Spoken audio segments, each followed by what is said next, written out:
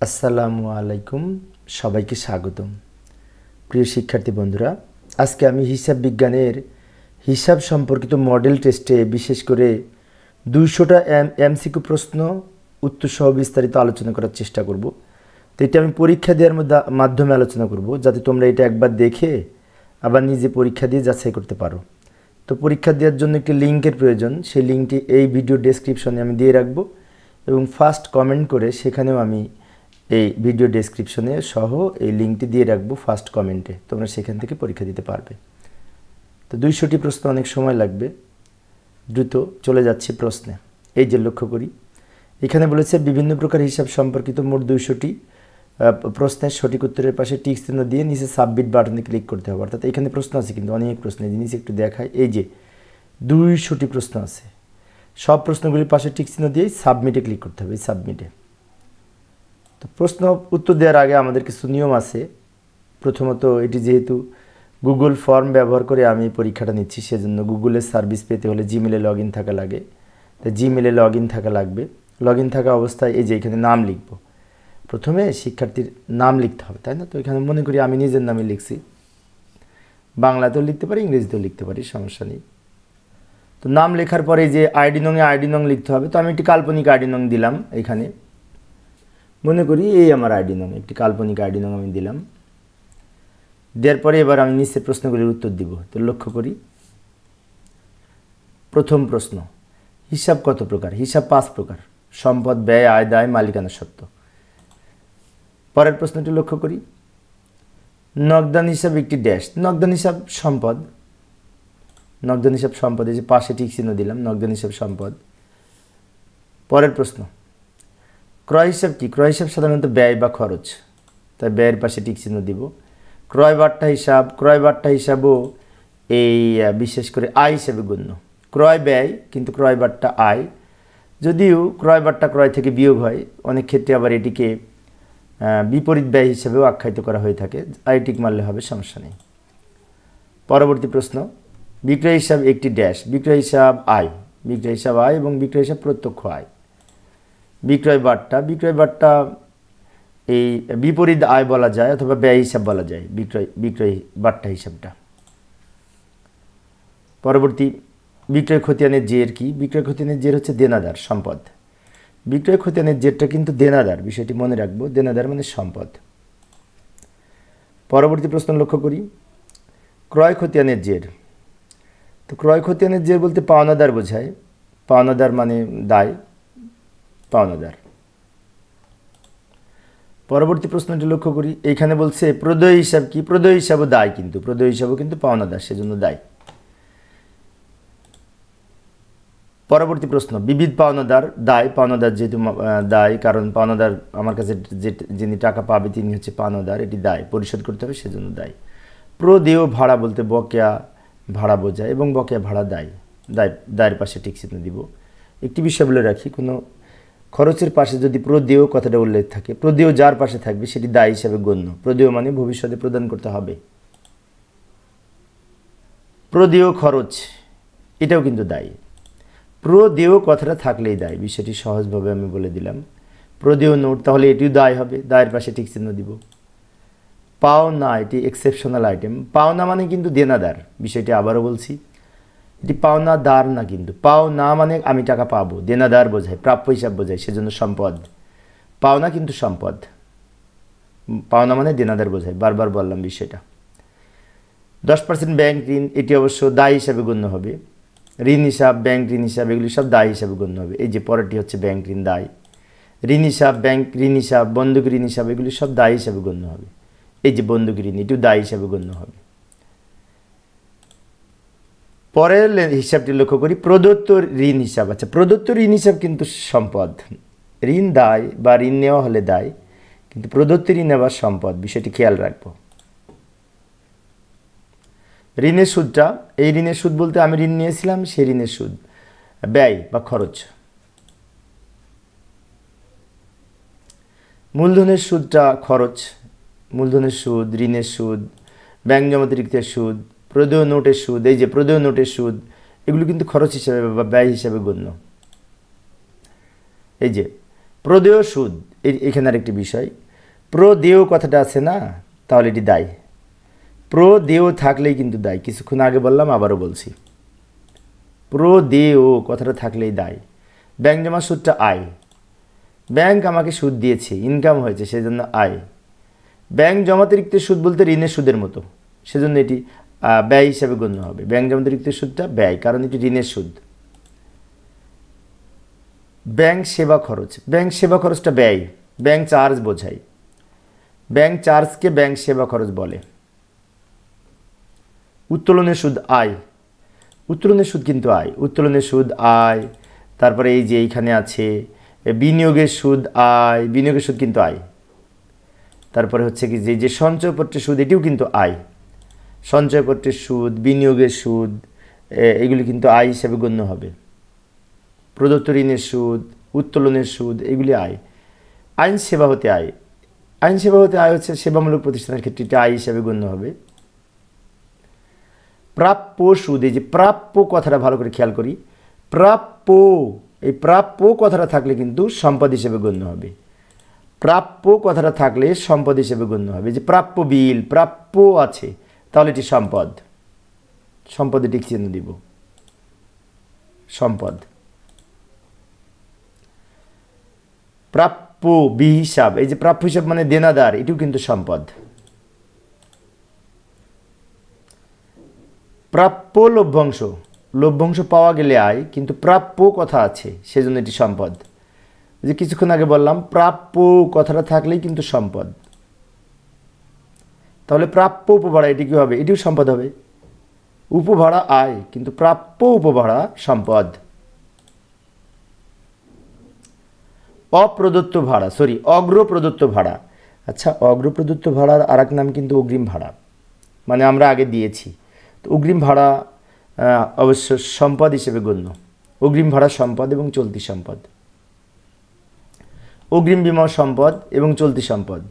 খরচ যদি অগ্রিম থাকে, সেটি সম্পদ হয়। যেমন এই যে অগ্রিম শিক্ষানবিশ ভাতা, এটিও কিন্তু সম্পদ। অগ্রিম শিক্ষানবিশ সেলামি দায় হবে, কারণ শিক্ষানবিশ সেলামিটা আয় আয় অগ্রিম থাকলে দায় হয়। বাট অগ্রিম শিক্ষানবিশ ভাতা, এটি কিন্তু সম্পদ, কারণ ব্যয় অগ্রিম আছে সেই জন্য পরের প্রশ্ন, অগ্রিম ব্যয় সম্পদ হিসেবে গণ্য হবে। এই যে অগ্রিম ব্যয়টা সম্পদ অগ্রিম বেতন অগ্রিম বেতন তো ব্যয়, তাই না? তাহলে এটিও সম্পদ। অগ্রিম বেতন, অগ্রিম ভাড়া, অগ্রিম বিমা সেলামি, অগ্রিম মজুরি, অগ্রিম বিজ্ঞাপন, এগুলি সব সম্পদ হিসেবে গণ্য হবে। যদিও অগ্রিম বিজ্ঞাপনকে বিলম্বিত বিজ্ঞাপন বলা হয়, অগ্রিম আয়, এই যে লক্ষ্য করি, অগ্রিম আয়টা কিন্তু দায় হবে। অগ্রিম আয়টা কিন্তু দায় হিসেবে গণ্য হবে, কারণ অগ্রিম আয় হলে বিশেষ করে অনুপার্জিত আয় বলে তাকে। এখনও অর্জিত হয়নি, সেজন্য এটি দায় হিসেবে গণ্য হবে। এই যে পরেরটাতে আসছে, অনুপার্জিত সেবা, এটা দায়। অনুপার্জিত সেবা আয় মানে এখনও অর্জিত হয়নি, তার মানে অগ্রিম সেবা আয় অগ্রিম সেবা আয় দায়। অনর্জিত সেবা আয় অনর্জিত সেবা আয় মানে অগ্রিম সেবা আয় বোঝায়, অনুপার্জিত সেবা আয় বোঝায়, যেটি দায় হিসেবে গণ্য হবে।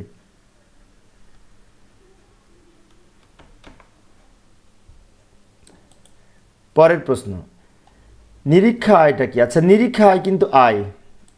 নিরীক্ষা আয় হচ্ছে আয়, এটি সেবামূলক প্রতিষ্ঠানের ক্ষেত্রে নিরীক্ষা আয় আয় হিসাবে গণ্য হবে। অর্জিত আয়। অনুপার্জিত আয় দায়, কিন্তু অর্জিত আয় আবার আয় হিসাবে গণ্য হবে। অর্জিত আয় মানে উপার্জিত হয়েছে, যেটি আয় হিসাবে গণ্য হয় বিষয়টি খেয়াল রাখব। পরবর্তী প্রশ্ন, আসবাবপত্র হিসাব অনেক সহজ, তাই না? আসবাবপত্র সম্পদ, তারপরে এই যে যন্ত্রপাতি হিসাব, এটিও সম্পদ। তারপরে কি আছে? দালান কোঠা হিসাব এটিও সম্পদ এবং স্থায়ী সম্পদ, এগুলি সহজ। তাই না? সুনাম হিসাব সুনাম হিসাব অদৃশ্য, স্থায়ী সম্পদ, সুনাম হিসাব। ইজারা সম্পত্তি হিসাব এটিও সম্পদ, অদৃশ্য সম্পদ। অফিস সরঞ্জাম হিসাব এটিও সম্পদ। অফিস সরঞ্জাম, অফিস ইকুইপমেন্ট এগুলো কিন্তু সম্পদ।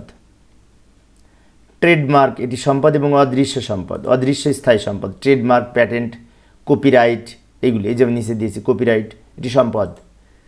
কপিরাইটটা সম্পদ হিসেবে গণ্য হবে। প্যাটেন্ট এটিও সম্পদ হিসেবে গণ্য হবে। প্যাটেন্ট কপিরাইট এগুলি সব সম্পদ হিসেবে গণ্য হবে। ট্রেডমার্ক প্রাথমিক খরচ প্রাথমিক খরচ কিন্তু খরচ লেখা আছে তারপরে ওটি সম্পদ হিসেবে গণ্য হবে। এবং প্রাথমিক খরচটা অলিক সম্পদ বা অবাস্তব সম্পদ বা ভুয়া সম্পদ বলে। অনেকটা, অনেকে আবার এটিকে অসম্বন্ধিত ব্যয়ও বলে থাকে। যাই হোক, প্রাথমিক খরচ সম্পদ। বিলম্বিত বিজ্ঞাপন, এটিও কিন্তু সম্পদ। এবং এই বিলম্বিত বিজ্ঞাপন, প্রাথমিক খরচ, এগুলি কিন্তু অলিক সম্পদ। অলিক সম্পদ। শেয়ার অবহার, এটি হচ্ছে অলিক সম্পদ। শেয়ার বিক্রি করতে যেয়ে যখন কম মূল্যে শেয়ার ইস্যু করি, তখন তাকে শেয়ার অবহার বলে। এটি সম্পদ হিসেবে গণ্য হয় এবং এটি অলিক সম্পদ। পণ্য গবেষণা ব্যয়, এটিও কিন্তু অলিক সম্পদ হিসেবে গণ্য হবে। পণ্য গবেষণা ব্যয়, অলিক সম্পদ হচ্ছে যে সমস্ত কিছু ব্যয় আছে প্রতিষ্ঠানের, যে ব্যয়গুলি বিশেষ করে কয়েক বছরে অবলোকন করা হয়, সেজন্য কয়েক বছর ধরে যেহেতু ব্যয়টা দেখানো হয়, সম্পদ হিসেবে দেখানো হয়। ব্যয়কে যেহেতু সম্পদ হিসেবে দেখানো হয়, সেজন্য এটিকে নামে মাত্র সম্পদ, অলিক সম্পদ, ভুয়া সম্পদ, অবাস্তব সম্পদ ইত্যাদি বলা হয়। সাজ সরঞ্জাম হিসাব কি? সম্পদ। সাজ সরঞ্জাম মানে আসবাবপত্র সাজ সরঞ্জাম বোঝায়। ভূমি ও হিসাব কি? ভূমি ও দালান কোঠা হিসাব, সম্পদ। ভূমি হিসাব, জমি হিসাব, প্রিমিসেস হিসাব ভূমি ও দালান কোঠা হিসাব, এগুলি সম্পদ। খুচরা যন্ত্রাংশ, অবশ্যই সম্পদ। খুচরা যন্ত্রাংশ, সম্পদ। বেতন ও মজুরি, বেতন ও মজুরি ব্যয় হিসেবে গণ্য হবে। বেতন ও মজুরি ব্যয় হিসাবে গণ্য হবে। বিষয়টি খেয়াল রাখব। নিষ্কর প্রিমিসেস এটি সম্পদ। নিষ্কর প্রিমিসেস কি? নিষ্কর প্রিমিসেস হচ্ছে প্রতিষ্ঠানের কিছু সম্পদ থাকে, জমি থাকে, যেগুলি ট্যাক্স দিতে হয় না, কর দিতে হয় না। সেগুলিকে নিষ্কর সম্পদ বলা হয় বা নিষ্কর প্রেমিসেস বলা হয়। একটু দ্রুত বলব, সময় সেভ করার জন্য, কারণ দুইশোটি প্রশ্ন আজকে আলোচনা করব। পরিবহন খরচ ব্যয়, পরিবহন খরচ ব্যয়। আন্তঃপরিবহন, এটিও ব্যয়। আন্তঃপরিবহন, বই পরিবহন পরিবহন পরিবহন থাকলে সেটি ব্যয়। কিন্তু পরিবহন খরচ আবার যদি বকেয়া থাকে, সেটি আবার দায় হয়। এই যে, বিক্রয় পরিবহন, এটিও ব্যয়। এগুলি সব ব্যয় হিসাবে গণ্য হবে। শুল্ক শুল্ক খরচ বোঝায়, এটি ব্যয়। প্রত্যক্ষ খরচ, শুল্ক, বিক্রিত পণ্যের ব্যয়ের মধ্যে আসে, এটি ব্যয়। বন্দর চার্জ, এটাকে ডক চার্জের মতো অনেকটা, এটিও ব্যয়, খরচ। নগর শুল্ক, এটিও খরচ বা ব্যয়। খাজনা ও কর, এটিও খরচ বা ব্যয়। কর ও অভিকর, এটিও ব্যয় বা খরচ। কর ও অভিকর, এটি কিন্তু ব্যয় বা খরচ। বেতন বেতন হিসাব তো আমরা সবাই জানি খরচ, তাই না? ব্যয় বা খরচ। ভাড়া, এটিও ব্যয় বা খরচ। তো প্রিয় শিক্ষার্থী বন্ধুরা, তোমাদের মনে হতে পারে একই রকম লেনদেন আছে, কিন্তু না, একরকম না। তোমরা দেখবে একটু একটু পার্থক্য রয়েছে। একটু একটু পার্থক্য রয়েছে, সবগুলো একরকম না। প্রতিটি প্রশ্ন আলাদা। বাট্টা বাট্টা বলতে এই ব্যয় বোঝায় শুধু বাট্টা থাকলে সেটি প্রদত্ত বাট্টা বোঝায় এবং ব্যয় বোঝায়। নিচে আবার এই যে প্রদত্ত বাট্টার আইটেম দিয়েছি, আমি আলাদা আলাদা করে দিয়েছি। বাট্টা নামেও দিয়েছি, প্রদত্ত বাট্টা নামেও দিয়েছি। কারণ বিভিন্ন নামে থাকে বইতে সেই জন্য। প্রদত্ত বাট্টাটা ব্যয়। প্রদত্ত বাট্টা ব্যয় বাট্টা ব্যয়, এই যে মঞ্জুরিকৃত বাট্টা নিচে আছে, এটিও কিন্তু ব্যয়। বাট্টা মঞ্জুর আমরা করেছি। সেজন্য এটি ব্যয় হিসেবে গণ্য হবে। বরাদ্দকৃত বার্তা এটাও ব্যয়। মঞ্জুরিকৃত বার্তা বরাদ্দকৃত বার্তা প্রদত্ত বার্তা শুধু বার্তা এগুলি সব ব্যয় হিসেবে গণ্য, খরচ হিসেবে গণ্য। কমিশন হিসাব কমিশন হিসাব প্রদান কি প্রাপ্ত কিছু বলা নাই। না বলা থাকলে কমিশন ব্যয় বোঝায়, কমিশনটা ব্যয়। মঞ্জুরকৃত কমিশন, মঞ্জুরকৃত কমিশনটাও ব্যয়। মঞ্জুরকৃত কমিশন কমিশন সব ব্যয় হিসাবে গণ্য হবে। প্রদত্ত কমিশন এটিও ব্যয় হিসাবে গণ্য হবে। প্রদত্ত কমিশনও ব্যয়।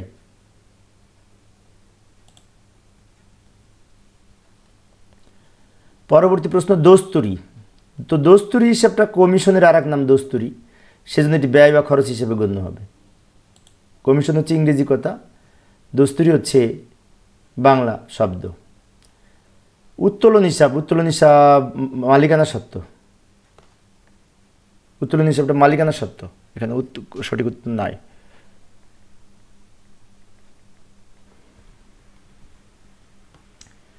এরপর আসে উত্তোলন হিসাব। উত্তোলনটা মালিকানা সত্ত্বের মধ্যে পড়ে, কারণ উত্তোলন দ্বারা মালিকানা সত্ত্ব কমে। পরবর্তীতে আসি আয়কর। আয়করটাও মালিকানা সত্ত্বের মধ্যে পড়ে। এখানে বানান মনে একটু মিস্টেক আছে, ঠিক করব পরবর্তীতে। আয়করটা মালিকানা সত্ত্বের মধ্যে পড়ে। কর হিসাব ব্যয় বা খরচ, একটু দ্রুত বলব, সময় সেভ করার জন্য, দুইশোটি প্রশ্ন আলোচনা করব। ভাড়াও কর, এটিও খরচ বা ব্যয়। অগ্রপ্রদত্ত বিমা অগ্রপ্রদত্ত বিমা বলতে অগ্রিম বিমা বোঝায়, অগ্রিম বিমা সম্পদ। অগ্রপ্রদত্ত বিমা বলতে অগ্রিম বিমা বোঝায়, অগ্রিম বিমা সম্পদ। মেরামত খরচ, মেরামত হিসাবটা খরচ। প্রাপ্ত বার্তা, প্রাপ্ত আছে, তাই না? মানে লাভ হয়েছে, আয় হয়েছে, তাহলে এটি আমাদের আয় হিসাবে গণ্য। প্রাপ্ত বার্তা আয়, প্রাপ্ত কমিশন আয়, প্রাপ্ত লভ্যাংশ আয়, এগুলি সব আয় হিসাবে গণ্য। প্রাপ্ত শিক্ষানবীর সেলামি, এটিও আয়, পাওয়া গেছে, সেজন্য লাভ হয়েছে, আয়। ব্যাংক জমা সুদটা আয়, ব্যাংক জমা শুধু আয় কিন্তু। খেয়াল রাখব বিষয়টা। স্থায়ী আমানতের সুদ মানে ব্যাংকে জমা রাখছি তার উপর সুদ, স্থায়ী হিসাবের উপরে। এটিও আয় হিসাবে গণ্য হবে। ভাড়া প্রাপ্তি, ভাড়া পেয়েছি, আয় হয়েছে, এটি আয়। একটি নতুন আইটেম পুরাতন খবরের কাগজ বিক্রয়, তো এটিও আয় হিসাবে গণ্য। পুরাতন খবরের কাগজ বিক্রয় কিন্তু আয়, বিষয়টি খেয়াল রাখব। কারখানার ভাড়া, ব্যয় বা খরচ। বিশেষ প্যাকিং খরচ, এটিও ব্যয়। বিশেষ প্যাকিং খরচটা কিন্তু আহ, বিক্রিত পণ্যের ব্যয়ের মধ্যে আসে। আর এই যে আর একটা আছে প্যাকিং খরচ এটিও ব্যয় কিন্তু এটি পরোক্ষ ব্যয়। প্যাকিং খরচটা পরোক্ষ ব্যয়। আর ওই যে উপরে ছিল বিশেষ প্যাকিং খরচ এটাও ব্যয় কিন্তু এই বিশেষ প্যাকিং খরচটা প্রত্যক্ষ ব্যয়। আর প্যাকিং খরচটা পরোক্ষ ব্যয় বিষয়টি খেয়াল রাখব। মূলধন অবশ্যই মালিকানা সত্ত্ব মূলধন তাই না? মূলধন মালিকানা সত্ত্ব সাধারণ সঞ্চিতিও মালিকানা সত্ত্ব মূলধন, সাধারণ সঞ্চিতি, নেট লাভ আয়কর, তারপর হচ্ছে কি যে উত্তোলন, এগুলি সব মালিকানা সত্ত্ব নিট লাভটাও মালিকানা সত্ত্ব মালিকানা সত্ত্ব নিট লাভ কিন্তু। জীবন বীমা, এটাও মালিকানা সত্ত্বের মধ্যে পড়ে, কারণ জীবন বীমার আর এক নাম উত্তোলন। উত্তোলন, জীবন বিমা, এগুলি মালিকানা সত্ত্ব অতিরিক্ত মূলধন, এটিও মালিকানা সত্ত্বের মধ্যে পড়বে। মূলধন, অতিরিক্ত মূলধন, এগুলি সব মালিকানা সত্ত্ব অবচয় খরচ অবচয় খরচ ব্যয় বা ব্যয় বা খরচ। অবচয় সেটা অবশ্যই ব্যয় বা খরচ, বিষয়টি খেয়াল রাখব। অপ্রদত্ত খরচ আচ্ছা অপ্রদত্ত খরচ মানে কিন্তু বকেয়া খরচ, বিষয়টি মনে রাখব।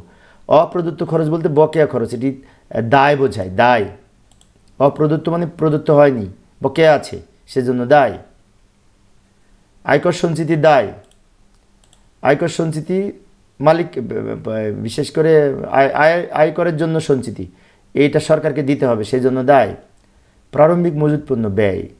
এবং প্রারম্ভিক মজুত পণ্যটা বিক্রিত পণ্যের ব্যয়ের মধ্যে আসে। বাট সমাপনী মজুত পণ্য কিন্তু সম্পদ। প্রারম্ভিক মজুত পণ্য ব্যয়, সমাপনী মজুত পণ্য সম্পদ, বিষয়টি মনে রাখব। কর্মচারী কল্যাণ তহবিল, এটি কর্মচারীদের দিতে হবে, সেজন্য দায়। বিনিয়োগ সঞ্চিতি তহবিল। বিনিয়োগ সঞ্চিতি তহবিলটাও দায় হিসেবে গণ্য। এটি দায়। পরবর্তী প্রশ্নটি লক্ষ্য করি। সঞ্চিতি তহবিল, এটি অবশ্যই মালিকানা সত্ত্ব কারণ নিট লাভ হতে সঞ্চিতি তহবিল তৈরি করা হয় মালিকের নিজের, সেজন্য মালিকানা সত্ত্ব নগদ তহবিল হাতে নগদ, এটি সম্পদ, তাই না? এটি সম্পদ। ব্যাংক জমা বা ব্যাংক হিসাবে জের এটি সম্পদ, চলতি সম্পদ।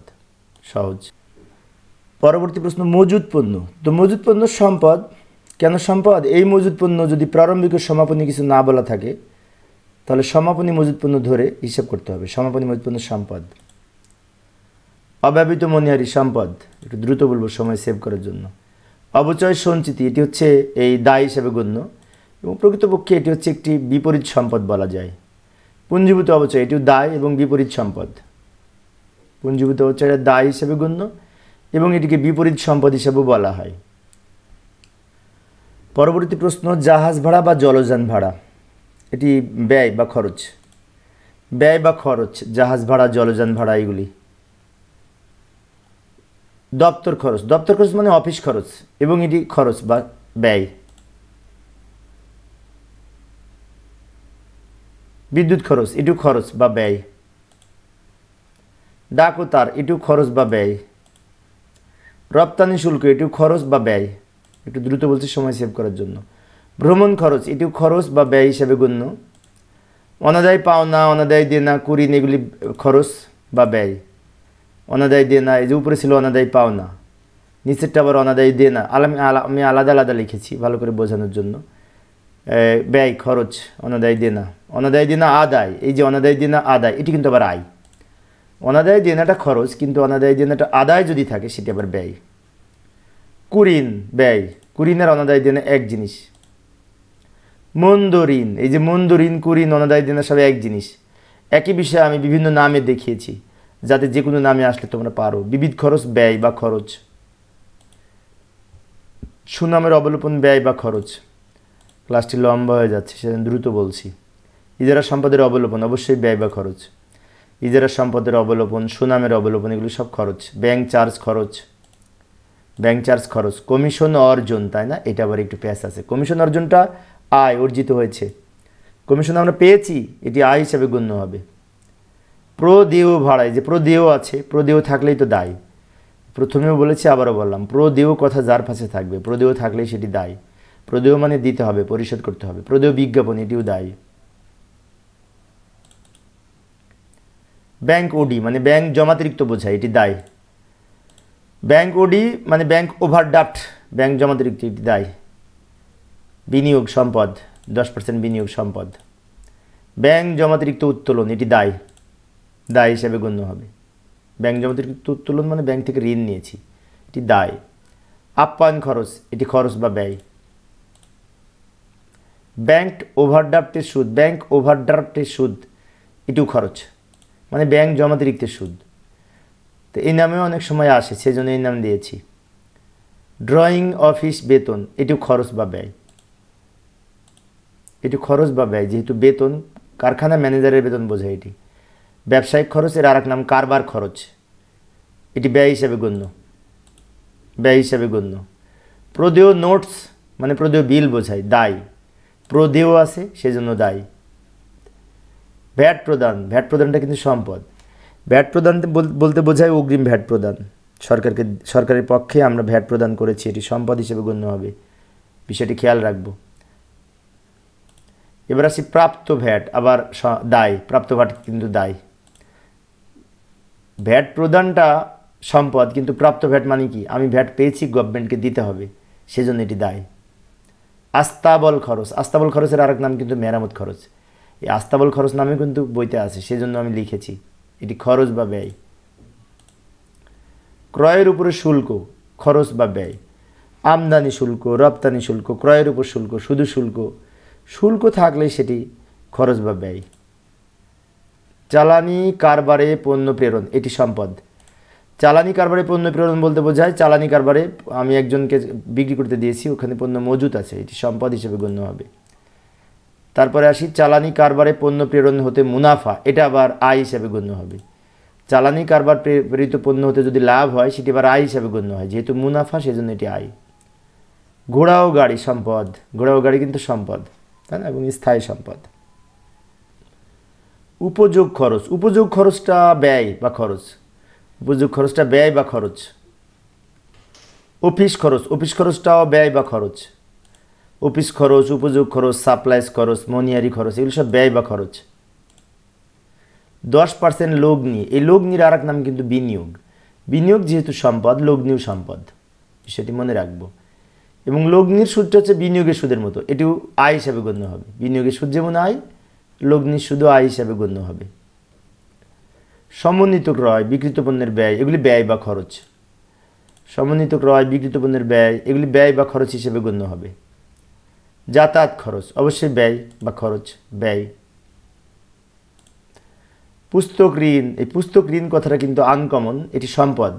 কেন সম্পদ? পুস্তক ঋণ বলতে দেনাদার বোঝায়, আমি আবারও বলছি। পুস্তক ঋণ বলতে দেনাদার বোঝায়। দেনাদার যেমন সম্পদ, পুস্তক ঋণও সম্পদ। দেনাদারের আর নাম পুস্তক ঋণ, দেনাদারের আর নাম প্রাপ্য হিসাব, দেনাদারের আর নাম বিক্রয়, খতিয়ানের জের, এগুলি মনে রাখব। প্রাঙ্গণ উন্নয়ন ব্যয়, সম্পদ। প্রাঙ্গণ উন্নয়ন ব্যয় মানে আমি ভূমি উন্নয়ন করেছি। এটি মোটা অঙ্কের ব্যয় এবং এরই দ্বারা সম্পদ অর্জন হয় সেই জন্য এটি সম্পদ। এবার আসি, প্রাগ, প্রাঙ্গণ রক্ষণাবেক্ষণ খরচ, এটা কিন্তু আবার ব্যয়। মানে আমি, আমার একটা মাঠ আছে, সেটি রক্ষণাবেক্ষণের জন্য খরচ করি কিছু কর্মচারীদের বেতন টেতন দিই, সেগুলি হচ্ছে ব্যয় হিসেবে গণ্য হবে। ব্যবসায়িক দেনাদার দেনাদার দেনাদার এক সম্পদ। ব্যবসায়িক পাওনাদার আর পাওনাদার সেম কথা, দায় পাওনাদার দায়। বিবিধ প্রাপ্তি বিবিধ প্রাপ্তি মানে বিবিধ আয় বোঝায়, আয়।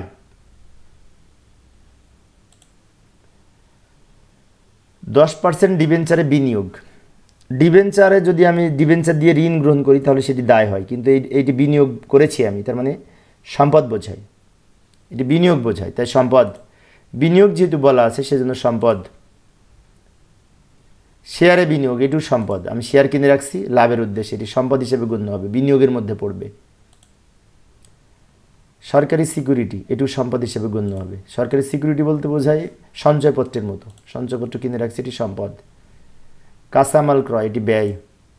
কাঁচামাল ক্রয়টা মানে পণ্য ক্রয়ের মতো, উৎপাদনকারী প্রতিষ্ঠানের কাঁচামাল ক্রয়টা ব্যয় হিসেবে গণ্য হবে। প্রভিডেন্ট ফান্ড এটি দায়। প্রভিডেন্ট ফান্ডটা কিন্তু দায়, বিষয়টি খেয়াল রাখব। এটি আনকমন আইটেম পেটি ক্যাশ খরচ। পেটি ক্যাশ খরচ বলতে খুচরা খরচ বোঝায়। এটি ব্যয় হিসাবে গণ্য হবে। পেটি ক্যাশ খরচ ব্যয় হিসাবে গণ্য হবে। আরমানকে প্রদত্ত ঋণ। আরমান একজন ব্যক্তির নাম, তাকে ঋণ প্রদান করেছি। ঋণ প্রদান করলে সম্পদ হিসেবে গণ্য হয়। ঋণ দায়, কিন্তু প্রদত্ত ঋণ আবার সম্পদ। বিষয়টি খেয়াল রাখব। প্রাঙ্গণ। প্রাঙ্গণ মানে জমি, ভূমি, এগুলি বোঝায় সম্পদ। বাণিজ্যিক চাঁদা। মানে ব্যবসায় অনেক সময় আমরা বিভিন্ন মার্কেটে গেলে চাঁদা দিতে হয়। এটি সম্পদ ব্যয় ব্যয়। বাণিজ্যিক চাঁদা ব্যয় যে ক্লাবের চাঁদা ব্যয়, এগুলো সব ব্যয়, বকশিস প্রদান, এগুলি ব্যয় হিসাবে গণ্য হবে। কর্মচারীদের পারিতোষিক কর্মচারীদের পারিতোষিক একটু ব্যয় হিসাবে গণ্য হবে, ব্যয়। রয়্যালটি রয়্যালটি অনেকটা বিমা সেলামের মতো প্রতি বছর বছর একটি নির্দিষ্ট টাকা দেওয়া হয় কিস্তি আকারে, এটি ব্যয় হিসাবে গণ্য হবে। শক্তি ও জ্বালানি, এটি ব্যয় বা খরচ। ব্যয় বা খরচের পরিমাণ বেশি মনে হচ্ছে। জলযান, নৌযান ভাড়া, নৌযান ভাড়াটাও ব্যয় হিসেবে গণ্য হবে। নৌযান ভাড়া, জলযান ভাড়া, ট্রাক ভাড়া, বাস ভাড়া, এগুলি সব ব্যয় বা খরচ। এই যে ট্রাক ভাড়া ব্যয়।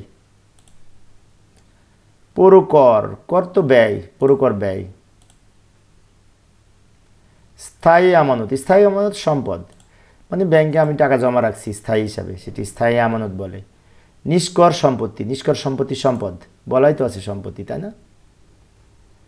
লগ্নির অনাদায়ী সুদ বা প্রাপ্য সুদ, যেটি সম্পদ হিসেবে গণ্য হয়। লগ্নির অনাদায়ী সুদ বা প্রাপ্য সুদ, এটি সম্পদ হিসেবে গণ্য হবে। অগ্রিম শিক্ষানবিশ সেলামি। শিক্ষানবিশ সেলামি আয়। আর আয় যদি অগ্রিম থাকে, সেটি দায় হয়। সেজন্য অগ্রিম শিক্ষানবিশ সেলামি দায় হিসেবে গণ্য হবে। দায়।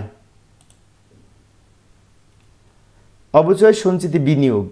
অবচয় সঞ্চিতি টাকা আমি বিনিয়োগ করেছি, এর সম্পদ এটি। বিনিয়োগ করলে সেটি সম্পদ হিসেবে গণ্য হয়, বিষয়টি খেয়াল রাখব। খুচরা খরচ, অবশ্যই খরচ বা ব্যয়। প্রশাসনিক খরচ, ব্যয়। প্রশাসনিক খরচ বলতে অফিস খরচ বোঝায়। অফিসের খরচকে প্রশাসনিক খরচ বলে। ব্যবসা গঠনের প্রারম্ভিক খরচ। এই যে ব্যবসা গঠনের প্রারম্ভিক খরচ বলতে বোঝায় প্রাথমিক খরচ। তো প্রাথমিক খরচ কিন্তু সম্পদ এবং এটি ভুয়া সম্পদ বা অবাস্তব সম্পদ, অলিক সম্পদ, বিষয়টি মনে রাখব। প্রাথমিক খরচ আর ব্যবসা গঠনের প্রারম্ভিক খরচ এক কথা, এটি অলিক সম্পদ। আগাম গ্রহণ আগাম গ্রহণ মানে অগ্রিম নিয়েছি, এটি দায়। অগ্রিম নিয়েছি, এটি দায়, অগ্রিম আয়ের মতো, অগ্রিম আয় দায়। খুচরা যন্ত্রাংশ, অবশ্যই সম্পদ। যন্ত্রপাতি সম্পদ, খুচরা যন্ত্রাংশ সম্পদ। চেম্বার ভাড়া। চেম্বার ভাড়াটা ব্যয়। চেম্বার ভাড়া মানে অফিস ভাড়া বোঝায়। প্রারম্ভিক মনিহারি খরচ। প্রারম্ভিক মনিহারিটা খরচের মধ্যে পড়ে। আর সমাপনী মনিহারিটা এই সম্পদ হয়।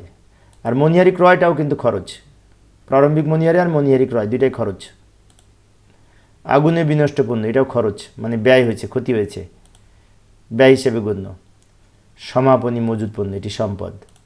সমাপনী মজুদ পণ্য, এটি সম্পদ। সমাপনী মজুদ পণ্যের আর এক নাম হচ্ছে অবিকৃত ব্যয়ের, অবিকৃত পণ্য অবিকৃত পণ্য। আমদানি শুল্ক। পরবর্তী প্রশ্ন, আমদানি শুল্ক। আমদানি শুল্ক ব্যয় বা খরচ, তাই না? আমদানি শুল্ক মানে পণ্য আমদানি শুল্ক। বিদেশ থেকে পণ্য আমদানি করার সময় খরচ হয়, এটি ব্যয় বা খরচ। মেশিন সংস্থাপন ব্যয়, এটি সম্পদ। মেশিন সংস্থাপন ব্যয় মেশিনের সাথে যোগ হয়, সেজন্য এটি সম্পদ হিসেবে গণ্য হবে। পরবর্তী প্রশ্নটি লক্ষ্য করি। বিলম্বে পণ্য সরবরাহের ক্ষতিপূরণ, এটি অবশ্যই ব্যয় বা ক্ষতি। খরচ। বিলম্বে সব পণ্য সরবরাহের ক্ষতিপূরণ এটি ক্ষ- ক্ষতি বা লস সেজন্য ব্যয় হিসাবে গণ্য হবে। ভূমি রাজস্ব খরচ, এটিও ব্যয় বা ক্ষতি, ব্যয় ব্যয়। ভূমি রাজস্ব খরচটা ব্যয় বা খরচ। স্বল্পমেয়াদী বিনিয়োগ, সম্পদ। তো প্রিয় শিক্ষার্থী বন্ধুরা, প্রায় শেষ পর্যায়ে চলে এসেছি। আমি একটু দ্রুত বলছি, সময় সেভ করার জন্য। আর মাত্র কয়েকটা প্রশ্ন বাকি আছে। স্বল্পমেয়াদী ঋণ, এটি দায় হিসাবে গণ্য হবে। স্বল্পমেয়াদী ঋণটা দায় হিসাবে গণ্য হবে। পরবর্তী প্রশ্ন, ব্যবহৃত মনিহারি তো ব্যবহৃত মনিয়ারিটা ব্যয় বা খরচ বোঝায়। মনিয়ারি খরচ। আজকের আলোচনার শেষ প্রশ্নটি লক্ষ্য করি। হাসানের নিকট হতে গৃহীত ঋণ। আজকের আলোচনার শেষ প্রশ্ন। লক্ষ্য করি হাসানের নিকট হতে গৃহীত ঋণ। তো হাসানের নিকট হতে গৃহীত ঋণটা তো দায়, ঋণ গ্রহণ করেছি। এইভাবে আমরা সব কটা প্রশ্নের উত্তর দিয়েছি। দেওয়ার পরে আরেকবার আমরা চেক করে দেখতে পারি, এতগুলি প্রশ্ন চেক করা সম্ভব না সেই জন্য এখন আমি সাবমিট বাটনে ক্লিক করব। সব প্রশ্নের উত্তর দেওয়ার পরে সাবমিট বাটনে ক্লিক করব। বিসমিল্লাহ, এই যে সাবমিট বাটনে ক্লিক করলাম। পরীক্ষা দেওয়া শেষ। এরপরে এই যে স্কোর ভিউ আছে না, এই যে স্কোর ভিউ এই স্কোর ভিউয়ে ক্লিক করলে আমি কত নম্বর পেলাম জানতে পারব। তা আমি যেহেতু ডেমো পরীক্ষা দিচ্ছি, সেজন্য আমি আর স্কোর ভিউটা দেখছি না। তোমরা যখন বাস্তবে পরীক্ষা দিবে, তখন এই এই এই এই ভিডিওটা ভালো করে দেখে ঠিক এইভাবে যদি পরীক্ষা দাও, দেওয়ার পরে সাবমিট করে, আমি যেভাবে সাবমিট করেছি, ওইভাবে সাবমিট করলে এই অপশন পাবে। তারপরে এই যে ভিউ স্কোর এখানে ক্লিক করলে তোমরা স্কোর দেখতে পাবে। আমি এখানে ক্লিক করছি না, কারণ আমি ডেমো পরীক্ষা দিয়েছি, সেজন্য। তো প্রিয় শিক্ষার্থী বন্ধুরা, আমি আবারও বলছি, শেষ পর্যায়ে এসে সেটি হচ্ছে এই প্রশ্নের লিঙ্ক আমি এই ভিডিও ডেসক্রিপশনে দিয়ে রাখব এবং আমি ফার্স্ট কমেন্টে দিয়ে রাখব, যাতে তোমরা সহজে পরীক্ষা দিতে পারো। পরিশেষে সবাই ভালো থাকবে এবং সুস্থ থাকবে। এই কামনায় খোদা হাফেজ।